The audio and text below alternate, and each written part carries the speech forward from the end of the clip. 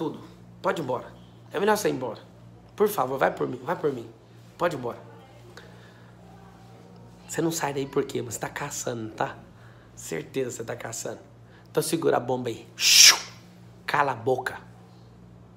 Sabia que você tá falando demais?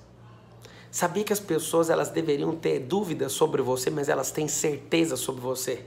Se uma pessoa ficar a vida inteira em dúvida se você é um tolo, ela nunca vai ter problema com você, mas se ela tiver certeza que você é tolo, acabou os negócios, acabou a amizade, acabou tudo.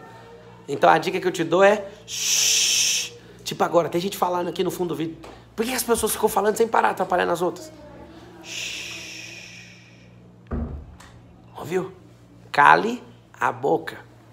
Você que é uma pessoa que reclama, sabe por que você tem que calar a boca? Porque você está clamando que essa coisa se repita. Reclamar, é clamar que isso se repita. Por exemplo, você fica magoadinho, fica falando para as pessoas, sabe o que é mágoa? Mágoa é uma má água, é um esgoto que fica dentro da sua cabeça. Enquanto isso, as pessoas não calam a boca enquanto eu estou gravando o vídeo.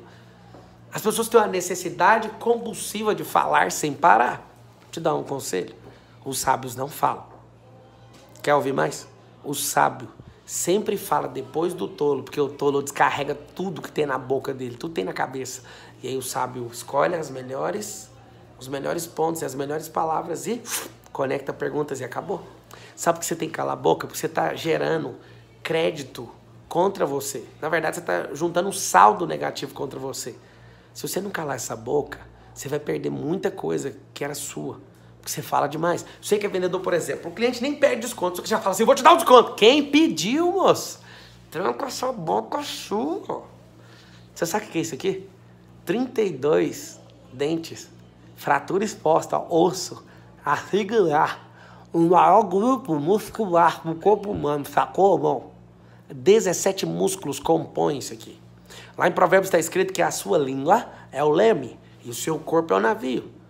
Meu amigo, se o leme desviar um grau, você deixa de sair na Europa e vai sair lá na Oceania. Sabia disso? Cala a boca.